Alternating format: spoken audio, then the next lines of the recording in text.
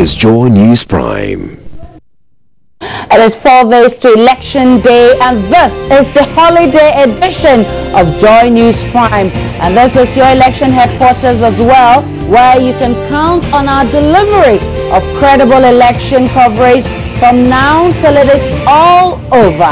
Coming up tonight, New Patriotic Party presidential candidate Nana Akufo-Addo assures that he does not intend to witch hunt any government official if he becomes president, but believes those who steal from government must face the law. Mirror EC chairperson Charlotte Osei is assuring that it has introduced new measures to ensure credible elections despite challenges that frowned the special voting exercise on Thursday. Also, President Mahama sought for the commencement of work on the second phase of Ho Airport, stressing he intends to make Ghana aviation hub of Africa.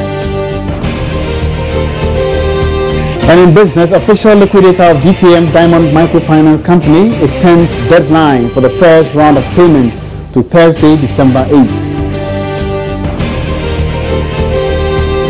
Also in this bulletin, Gambia's Jammeh loses to Adama Barrow in a shock election results.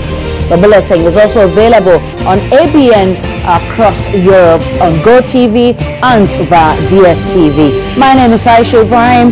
Stay with us. We'll be back.